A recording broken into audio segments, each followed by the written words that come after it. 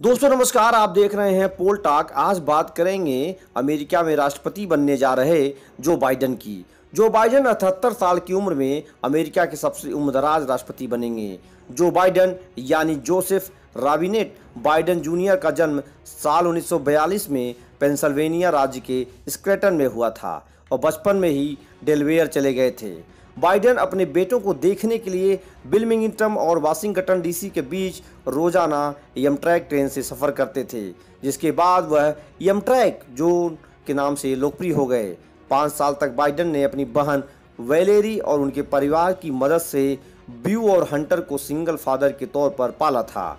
साल 2015 में 46 साल की उम्र में बाइडेन के बड़े बेटे ब्यू की ब्रेन कैंसर से मौत हो गई थी। बाइडेन के छोटे बेटे हंटर की बात करें तो एक वकील और लाबिस्टिक के रूप में उनका करियर भ्रष्टाचारों के आरोप में निशाना रहा है। नीलिया की मौत के पाँच साल बाद बाइडन ने जिल से शादी की थी। उनकी एसली नाम की एक बेटी है, जिसका जन्म उन्नीस सौ इक्यासी में हुआ था। बाइडेन काफ़ी पॉपुलर हुए इन दिनों और अब जान लेते हैं कि बाइडेन का राजनीतिक इतिहास क्या रहा है। डेलवेयर से छह बार सीनेट रह चुके बाइडेन राष्ट्रपति चुनाव के रेस में तीसरी बार उतरे हैं। उनकी पहली कोशिश उन्नीस सौ अट्ठासी के चुनाव के लिए थी। हालाँकि तब उन्हें साहित्यिक चोरी के आरोप में पीछे हटना पड़ा था। उन्होंने अपनी दूसरी कोशिश 2008 के चुनाव के लिए की थी। बाइडन को अमेरिका के पूर्व राष्ट्रपति बराक ओबामा का करीबी माना जाता है। वह ओबामा के कार्यकाल में 2008 से 2016 तक दो बार उपराष्ट्रपति भी रह चुके हैं। 2020 के राष्ट्रपति चुनाव में बाइडन के जीत के लिए ओबामा काफ़ी ज़ोर लगाते दिखे हैं। ओबामा ने भी बाइडन को जिताने की बात कही है। बाइडन पर ब्रिटिश लेबर पार्टी के नील किंकान के भाषण की साहित्यिक चोरी का आरोप लगा था। इसके अलावा बाइडन ने स्वीकार किया था। उन्होंने लॉ स्कूल में अपने पहले साल के दौरान कानून की समीक्षा का लेख चोरी किया था।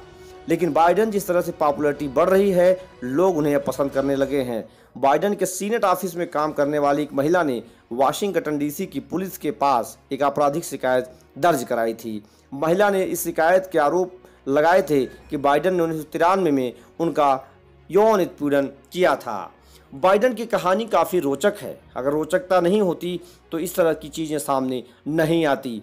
भारत के चौहत्तरवें स्वतंत्रता दिवस के मौके पर भारतीय अमेरिकी समुदाय को संबोधित करते हुए बाइडन ने कहा था, अगर वह राष्ट्रपति चुनाव जीतते हैं तो भारत के सामने मौजूद खतरों से निपटने में उसके साथ खड़े रहेंगे। भारत के साथ बाइडेन से भी संबंध अच्छे बताए जा रहे हैं। इसके साथ ही उन्होंने कहा था, अगर वो राष्ट्रपति चुनाव जीतते हैं तो भारत अपने क्षेत्र और अपनी सीमाओं पर जिन खतरों का सामना कर रहा है, वह उससे निपटने में उसके साथ खड़े रहेंगे। उन्होंने यह भी कहा था, वह दोनों देशों के बीच व्यापार बढ़ाने, जलवायु परिवर्तन जैसी वैश्विक चुनौतियों से निपटने के लिए काम करेंगे। ये कहानी है अमेरिका के नए राष्ट्रपति बनने जा रहे जो बाइडन की, जिसे पोल टाक पर आपको दिखाया जा रहा है। अगर अच्छा लगा हो तो कमेंट करके ज़रूर बताइएगा। चैनल को सब्सक्राइब करना नहीं भूलिए। धन्यवाद।